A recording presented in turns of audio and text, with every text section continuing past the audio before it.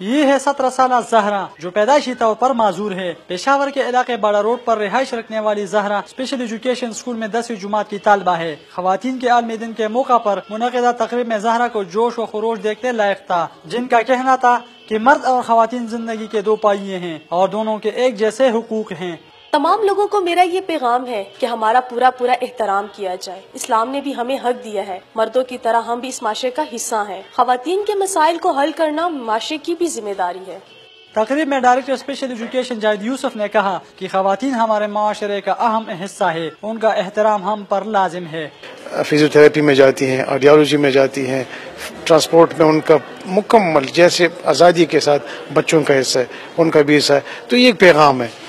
کہ سب برابر ہیں، کوئی فرق نہیں ہے ان دونوں میں۔ موجودہ حالات کے مایوسی اور اندھیروں میں زہرا کی ہمت دوسری خواتین کے لیے کسی روشن چراغ سے کم نہیں ہے۔ خواتین کے عالمی دن کے موقع پر تقریب میں شریک، یہ ہے پشاور کی رہائشی زہرا، جو پڑھنے کے ساتھ ساتھ خواتین کے حقوق کے لیے آواز اٹھا رہی ہے۔